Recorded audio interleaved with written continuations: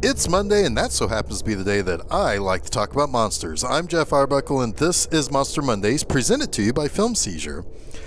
Last week, we talked about a remake of a famous movie, and this week, it's a movie that had a somewhat famous remake of its own, and that's 1953's Invaders from Mars. This is a pretty popular movie with a lot of significance, and it's directed by one of the greatest art designers in early Hollywood, William Cameron Menzies. Menzies won a couple of Oscars in his lifetime. At the very first Oscar ceremony, he won for two movies, The Dove and Tempest. In 1940, he got a special Oscar given to him for his work on Gone with the Wind for, quote, outstanding achievement in the use of color for the enhancement of dramatic mood. And considering that Invaders from Mars was made in the early 50s by an independent studio, hiring Menzies probably also meant that he was going to require that the movie was made in color. Um, and that's probably partly why Invaders from Mars was made on a near $300,000 budget for only 77 minutes worth of film. And that seems a little expensive for an indie film at its time, but it's also most definitely culturally significant and really not without some kind of star power there. Aside from Menzies being in the director's chair, you also have uh, Arthur Franz, who would go on uh, from here to the Caine Mutiny the following year. And uh, this movie was shot by John Seitz, who was nominated many times uh, for cinematography, having just come from When Worlds Collide a couple of years before. Uh, the film also uses a wonderful tr- trope of the boy who cried wolf. Though, as much uh, as it feels like this movie owes a great deal to that story, a handful of movies, including Phantasm and The Iron Giant, owes a great deal to the influence of Invaders from Mars uh, in its plot points or reference material.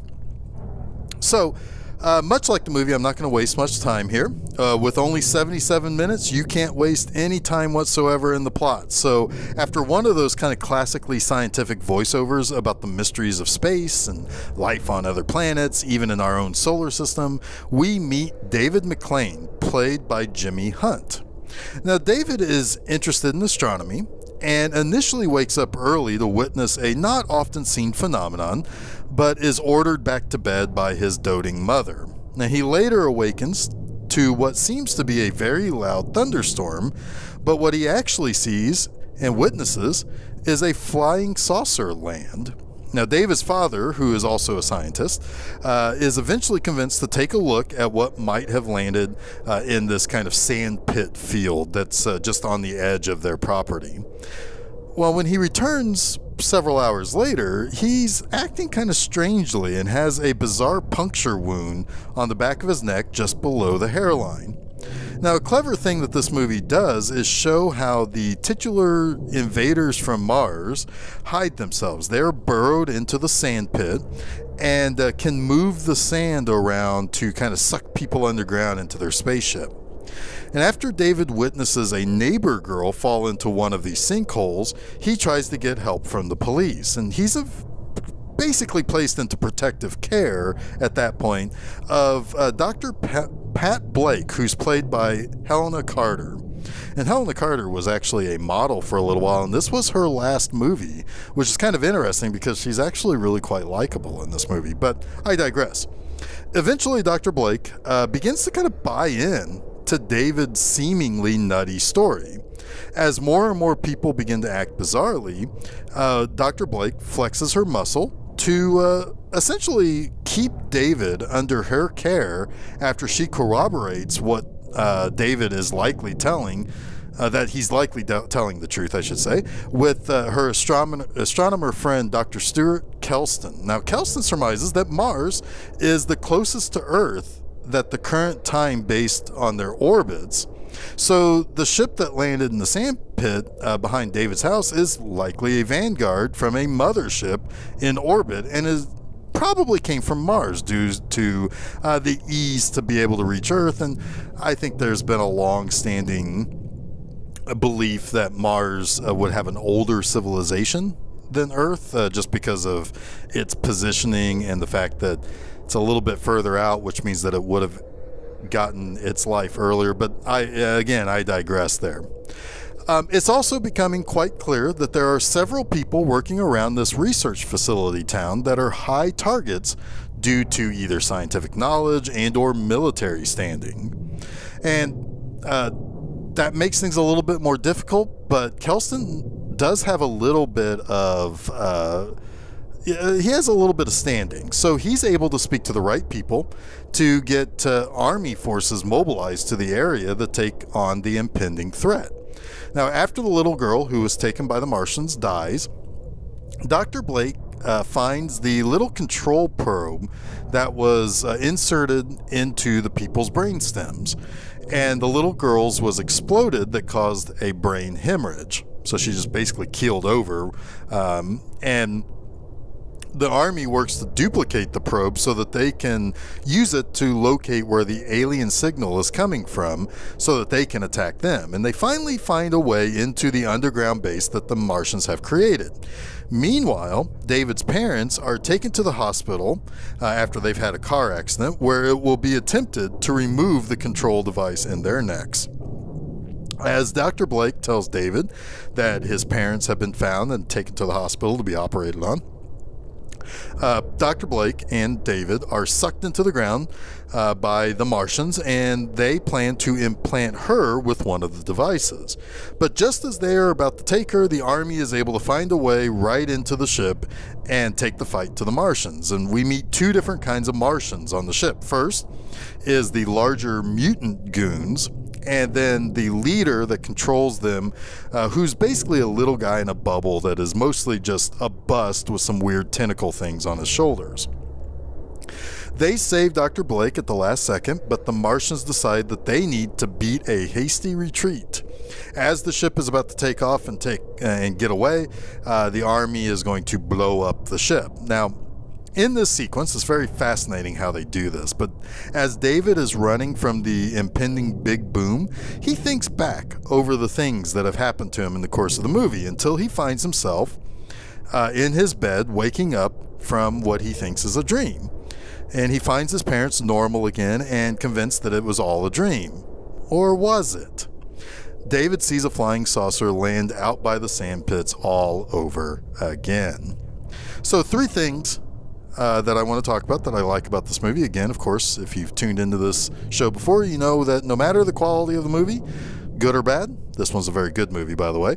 Uh, I always pick three things that I highlight that I like about the movie. First and foremost, I really like how um, the the trusted source of information is this little kid, David.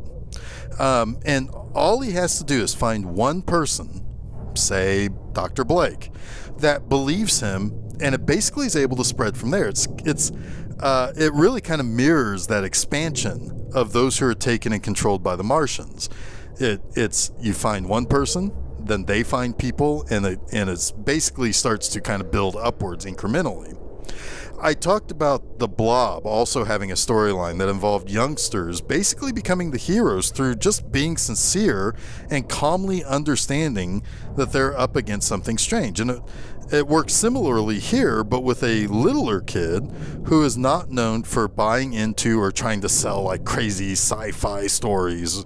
Uh, so he's treated as an authority in this. Uh, a lot of the story hinges on young actor Jimmy Hunt because he's our emotional point of view character who is concerned about his parents, the town, the idea that his planet is being invaded by something that is hard to understand or know how to combat. So again, it's it's one of those really kind of cool ideas where you have somebody who wouldn't normally be taken as a hero getting the opportunity to be a hero, and I, I like that in this movie. Second, I really love the Martian stuff in this movie. Of course, there's the flying saucer at the beginning, and it's like that super classic one at that. You know, like it's the it's it looks like when you say the word flying saucer, and you've seen at least one movie with a flying saucer, this is exactly what you would expect for it to look like. But once the army finds a way into the caverns that the Martians have made from their ship under the sand pit, uh, it's almost like something out of the Nintendo game Metroid. Uh, they have like these bubbly walls in the cavern. Um, the lead alien is just this little dude. It's just a little tiny dude in a glass bubble. And he kind of looks like a squid or an octopus or something.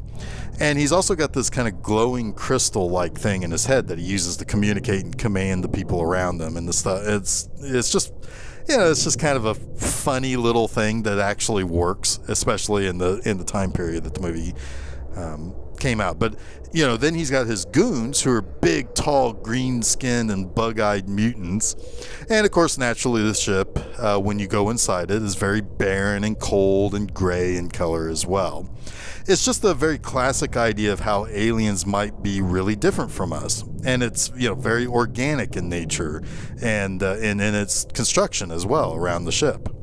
Now, thirdly, this is one of the major pillars of the Space Invader sci fi movie that uh, is really just an allegory for Cold War, Red Scare type of business.